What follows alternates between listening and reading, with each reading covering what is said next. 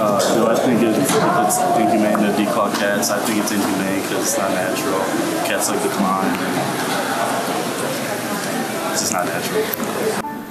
Um, I don't think there's a problem with it. Uh, I think it'll keep them from scratching people or other cats. Yes, I do, actually. Um, declawing cats is like cutting off a knuckle, just like from here down, uh, up, you know, so like, yes, Um, yes, however, there are some other factors involved because there's actually two separate ways that you can declaw cats. So one of them is basically just removing the nail bed. Um, the vast minority of vets practice this, but it's actually significantly more humane, and that one can be if your cat has a medical issues, you can claws or something like that. You can do declaw your cat safely, and humanely. Obviously, you don't have to declaw your cat, you should not.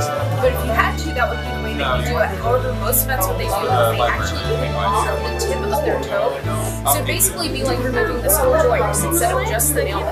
This can cause arthritis. It can cause severe pain. Um, they cannot use the litter box anymore. They can no longer correctly distribute their weight. It's actually super messed up.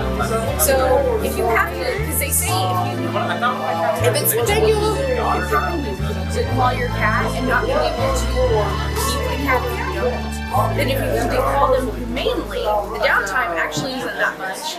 Um, it's still not great, but there can be worse things you can do. But just clipping off the tips of their toes, that's like it's pretty awful.